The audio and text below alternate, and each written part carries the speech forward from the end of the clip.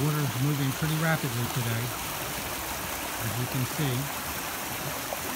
And on the other side of this little bridge, which was uh, originally a school bus, is my barn, two, two horse barn.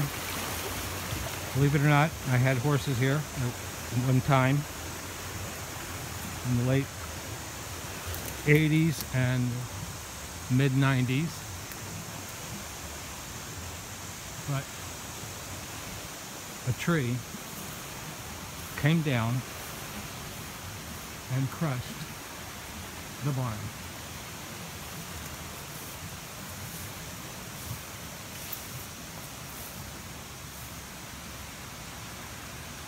As you can see.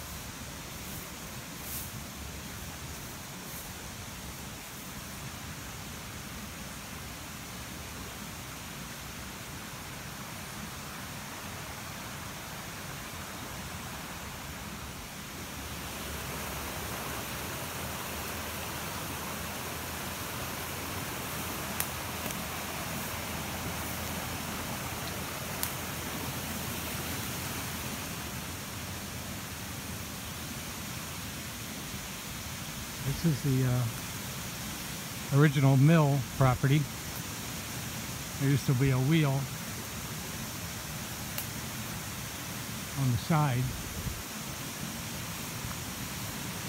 And the water used to come around behind the house and move the wheel.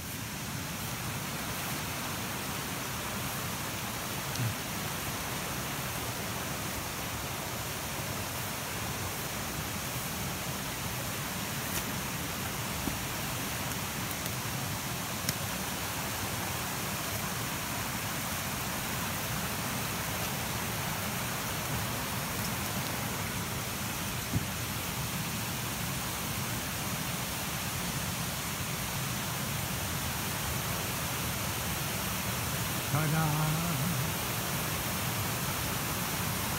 This waterfall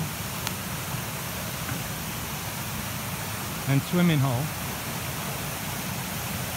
is on the property owned with my brother and sister.